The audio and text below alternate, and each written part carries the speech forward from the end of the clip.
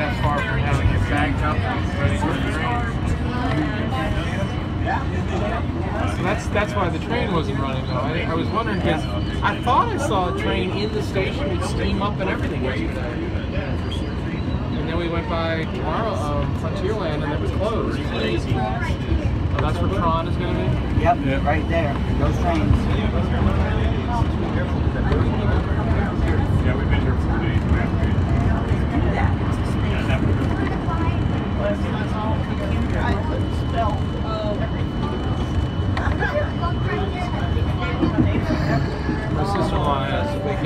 Yep, we're, yep, we're gonna. Only a few more hours, my friend. Only a few more hours.